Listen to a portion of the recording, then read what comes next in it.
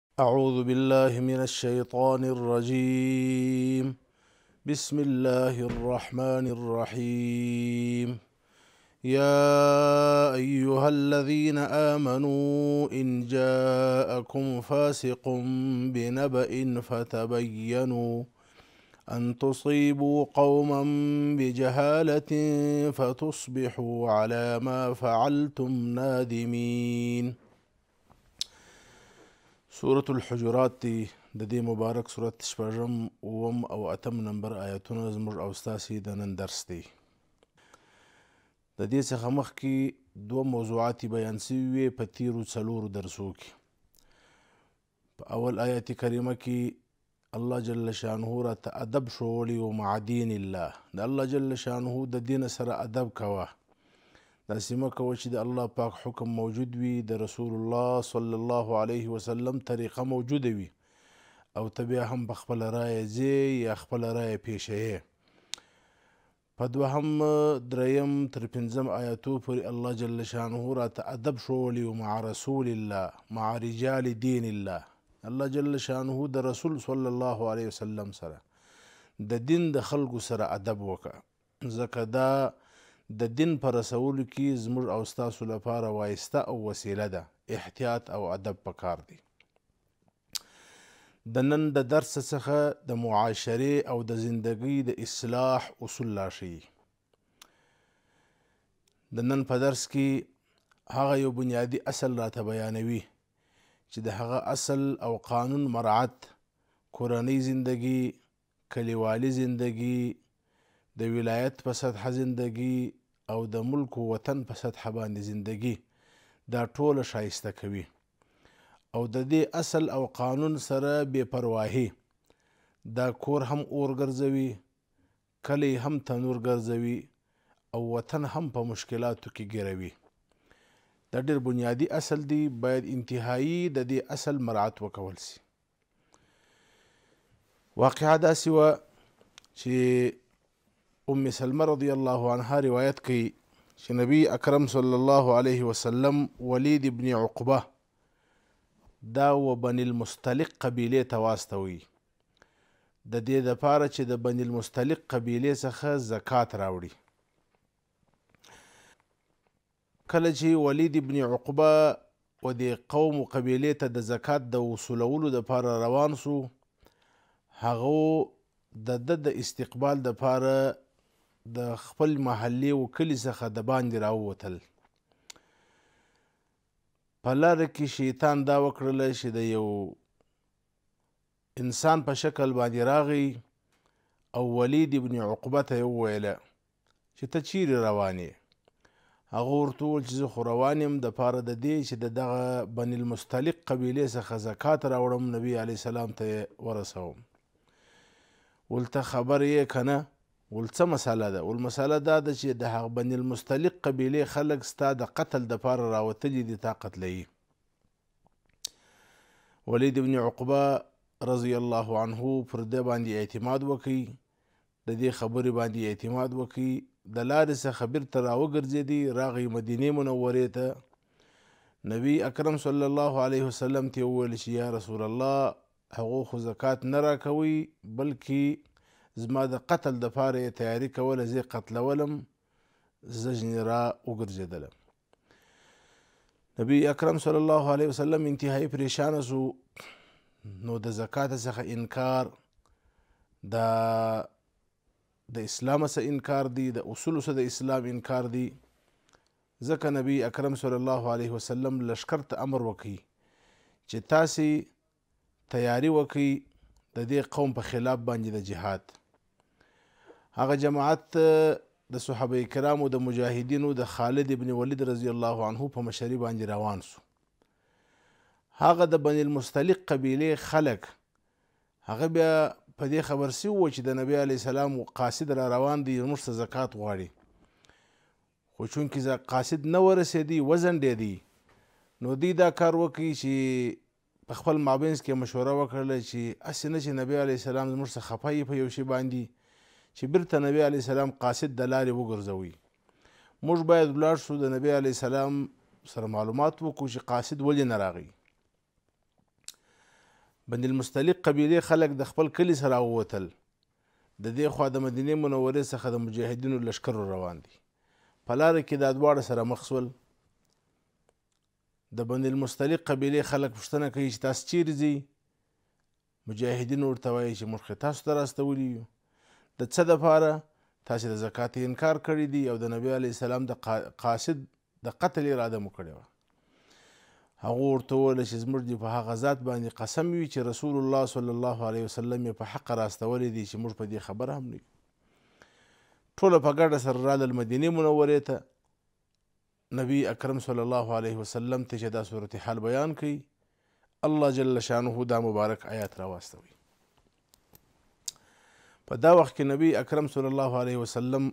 دا وفرمایل چې التبین من الله والعجله من الشیطان په کار کې تبین او تحقیق کول خبره ځان ته معلومول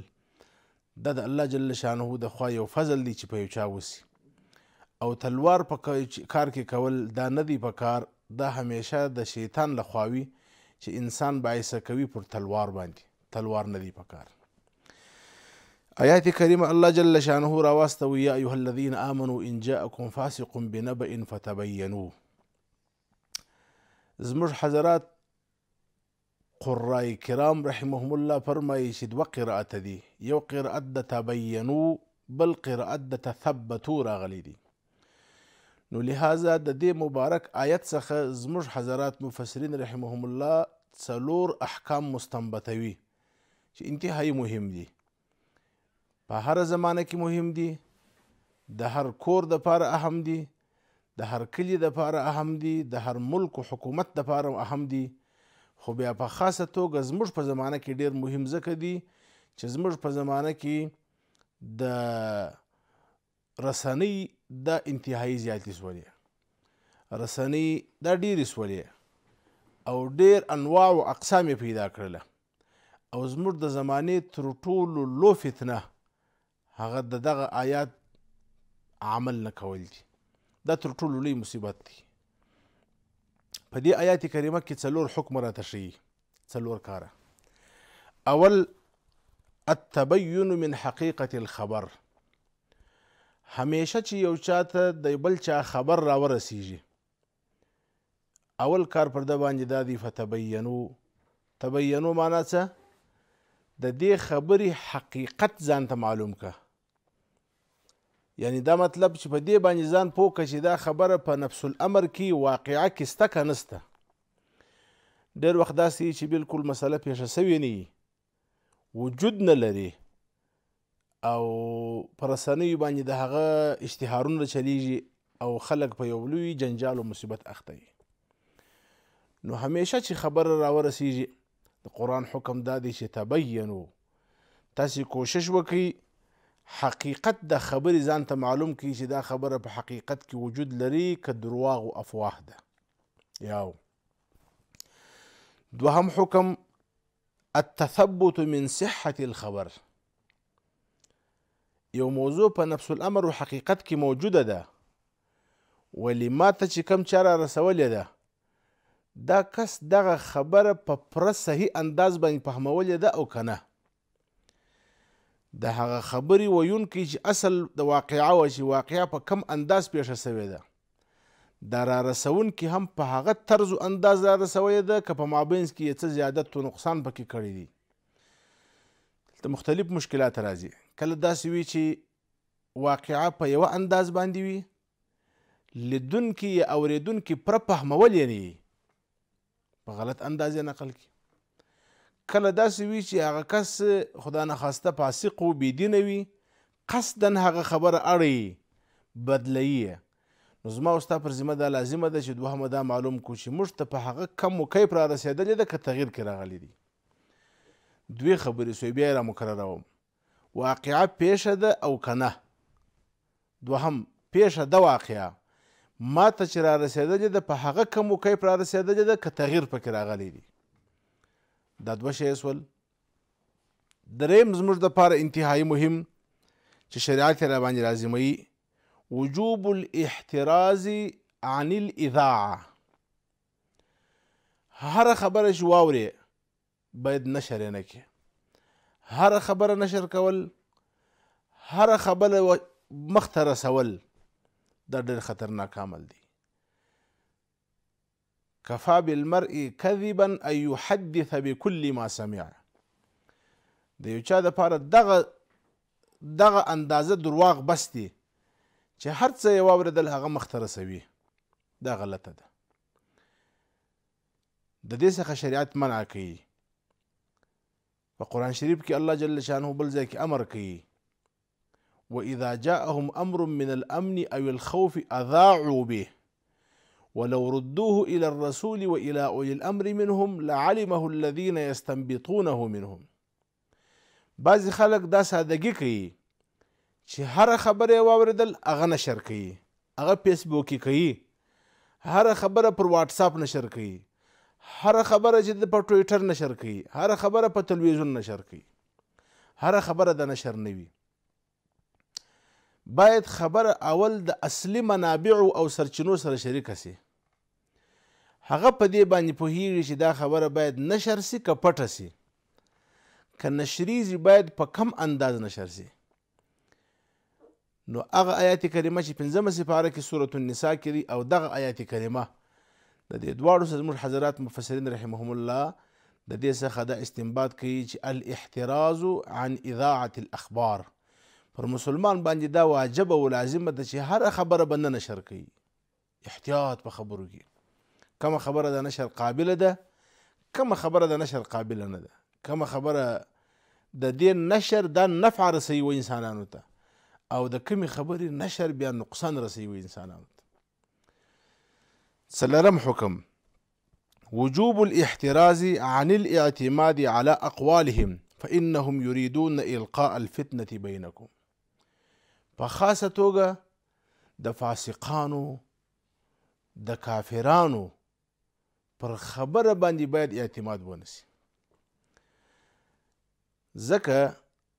د هغو یو کوشش دا وي چې د مسلمانانو په مابینځ کې فتنه، فساد او مشکلات راولي. الله جل شانه دی وکړي چې دا څلور احکام که دا موږ د دې آیات څخه زده کړل زموږ به کورنۍ زندگی خو... خو... د خوشحالۍ وي زموږ به کلیوالي زندگی زموږ به د اقرباو په مابینځ کې ژوندګي او محبت دا موجود وي زموږ به د وطن په سطح باندې د ملت په سطح باندې به زموږ زندگی خوږه وي اوله خبره بیا مکرروم چې هره خبره درته راورسېدل کوشش وکړه په دې ځان پوه کړه چې موجوده ده په نفس الامر کې دا واقعیا که نه دوهم ما ته را رسېدلې په صحیح انداز ده او که نه او دریم بیا چې تا ته راورسېدل ته باید دا خبره مخته نشر کې او که یوارې یې باید د مشرانو سره شریکه کې باید نشر یې نه کې د خپلو سرچینو منابعو سره شریکه کې او څلورم دا خبره چې ماته د کومې منبع او سرچینې څخه رسېدلې ده پر هر یوه باندې باید زه اعتماد نه وکړم ځکه بعضې داسې منابع او سرچینې وي بعضې داسې رسنۍ وي چې د هغو هغه غایت انتها کوشش دا وي چې د مسلمانانو په مابینځ کې فتنه او فساد راولي نو د آیات کریمه دا څلور خبره راته وشولې اوس که چیرې یو څوک د احکام نه کې عملي یا د خبرې په حقیقت ځان نه خبروي بس وای ورېدله خبره اعتماد یې په وکړي بس عکس العمل یې ښکاره کوي یا په حقیقت ځان خبر کوي خو په دا انداز د رسېدو یې ځان نه کوي خبر چې دا را رسوونکي څنګه دي او یا دا دی چې هره خبره یې واورېدل مخ ته یې نشر کړل یا یې د هر چا پر خبره اعتماد وکړي نتیجه به څه وي يعني که د دې آيت کريمه عمل پاته سي نتيجه به څه وي؟ فتصبحوا على ما فعلتم نادمين دا د قرآن شريف اعلان دی چې بیا به تاسو پر خپل کړو باندې پښیمانه یاست د دغه احکامو د نه عملي کولو په صورت کې به خامخا تاسو د دې سره مخ کېږئ چې بیا به پښیماني کوئ موږ سره معلومه ده په کورنۍ زندگی کې په کورنۍ زندگی کې ما او تا دا لیدل ده ډېره خاوند د ښځې په باره کې څه اوري یا یې ویني یا بې ادبي معاف د نن سبا زمانه کې د موبایلو دور دی خامخا په کورو کې د زنانو سره هم موبایلونه وي د ضرورت په خاطر یو خاوند د خپلې ښځې موبایل چې کوي ګوري یې بس خالي په دې باندې چې وې کتي په هغه کې څه پیدا کړل پر هغه اعتماد وکړي اقدام یې وکړي فتصبحوا علی ما فعلتم نادمین پنځه ورځې بعد بیا پر دې باندې دی پریشان بیا په ژړا باندې چې ما څه وکړل موږ او تاسې په کورني نظام کې دا وینو او موږ او تاسې دا مسله په ملکي نظام کې وینو په ملکي نظام کې دا انتهایی مهمه ده خاص کر د عمراو د حکمرانانو لپاره یو کس رالی خبرې راورسول د هغه پر خبره باندې د اعتماد وکړي قدم یې واخسي پنځه ورځې پس معلومه سول چې هغه خبر غلط وو نتیجه یې څه وي بیا پښیماني وي او په خاصه توګه دغه احکام دا باید د رسنیو دپاره یو مونوګرام په اصطلاح باندې یو قانون جوړ سي هره رسنۍ باید دا څلور خبرې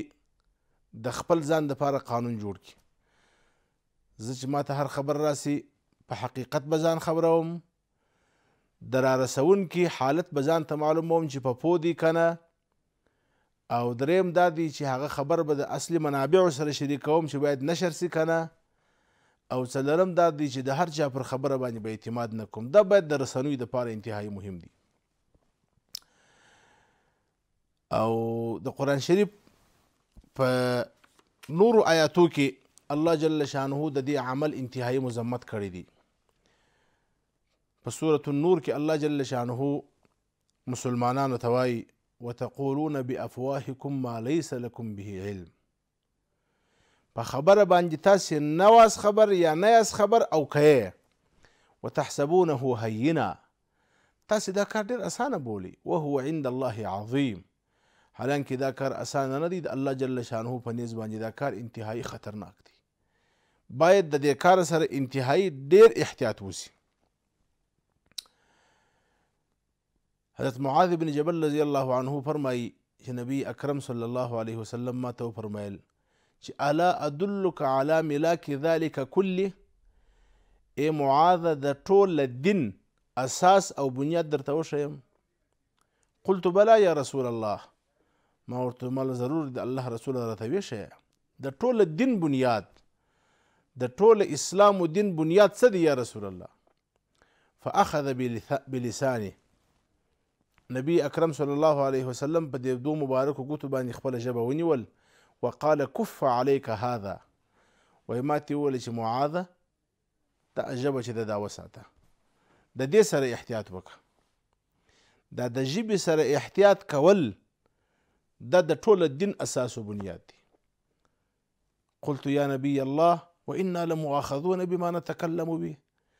معاذ بن جبل وای ما ورته ویل چې الله رسوله د ژبې په خبرو دا دومره اهمه موضوع ده په دې باندې موږ په قیامت کې نیول کیږو قال ثقلتك امك يا معاذ وهل يكب الناس في النار على وجوههم او قال على مناخرهم الا حصائد السنتهم معاذ اکثر خلک چې رېبل کېږي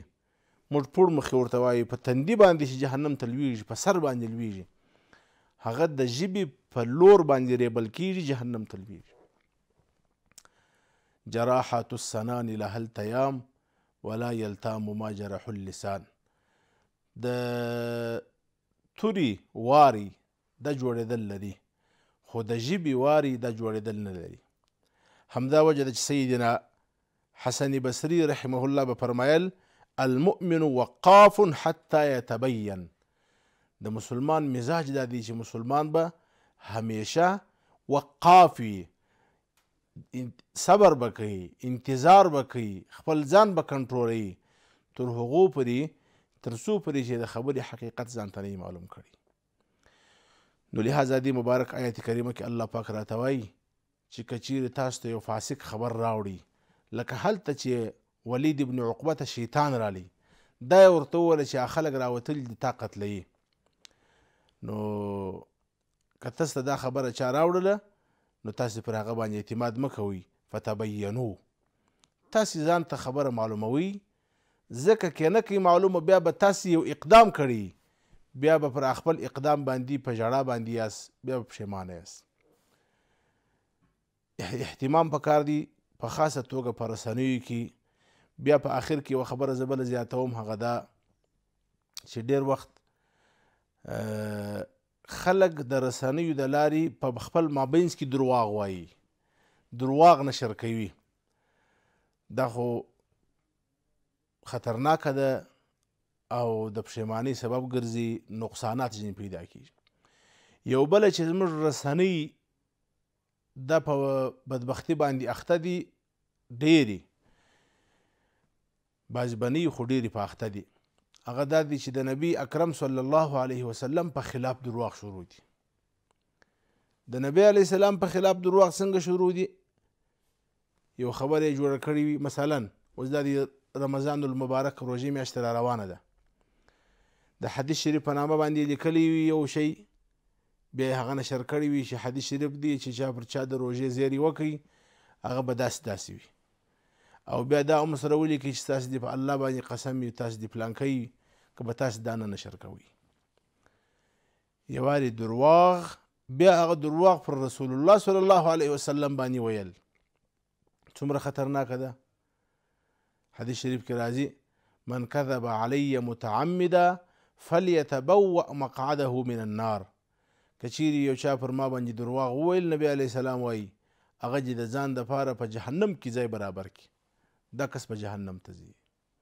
د دې کس ځای جهنم دی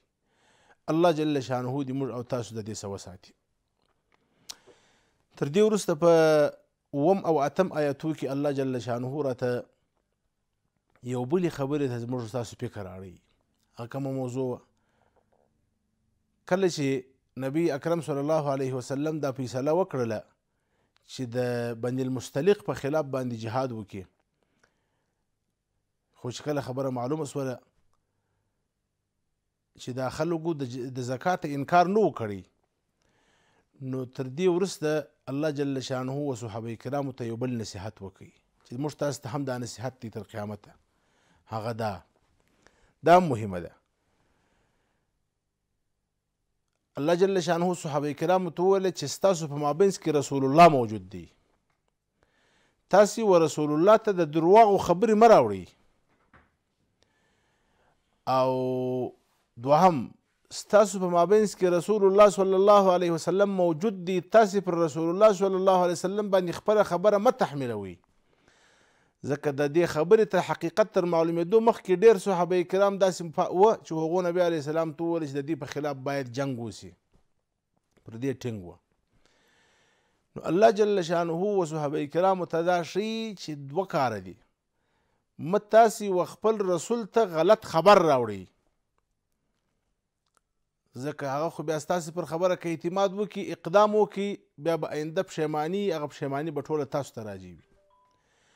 او امت تاسو خپل رسول پر دې باندې مجبور کوي باعث کوي چې خامخا زما رای ومنه ځکه کچيري تاسو رسول الله صلی الله علیه وسلم په دې باندې باعث کوي نو که تاسو رای ومني لعنتم بیا به سبا برته په مشقت او تکلیف باندې تاسو اخته یاست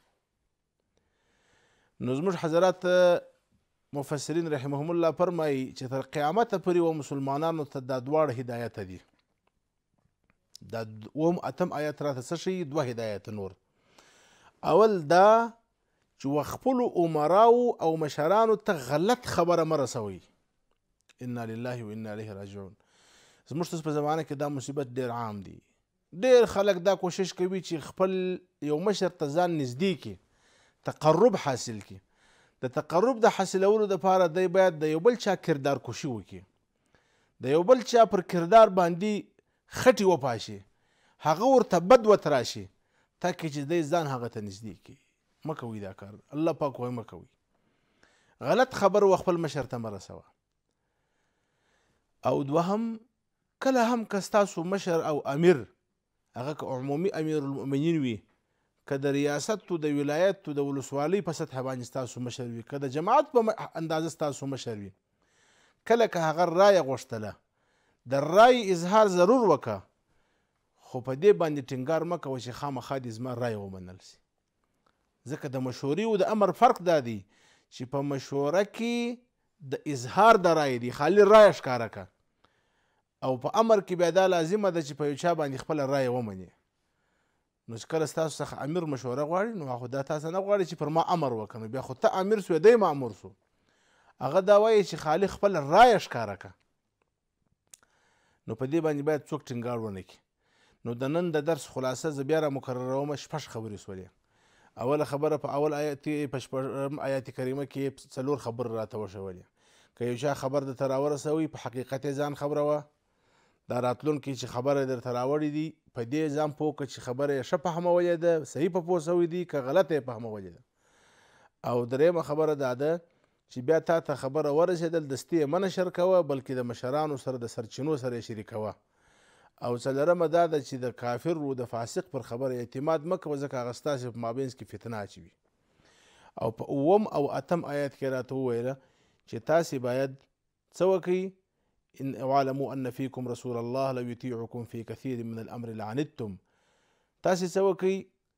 تاسې رسول الله ته درواغ مه راوړئ، تاسې و خپلو مشرانو ته درواغ مه راوړئ،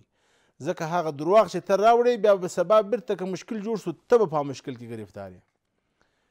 او شپږمه دا ده چې تاسې خپل مشران او عمرا پر دې مه مجبوره کوئ چې خامخا ستاسې مشوره ومني، مشوره پیش که باقي منل او نه منل دا هغه ته اختیار ورک الله جل شانه دې موږ او تاسو ته د دغه اصولو د رعایت او حفاظت توفیق را نصیب کړي واخر دعوانا ان الحمد لله رب العالمین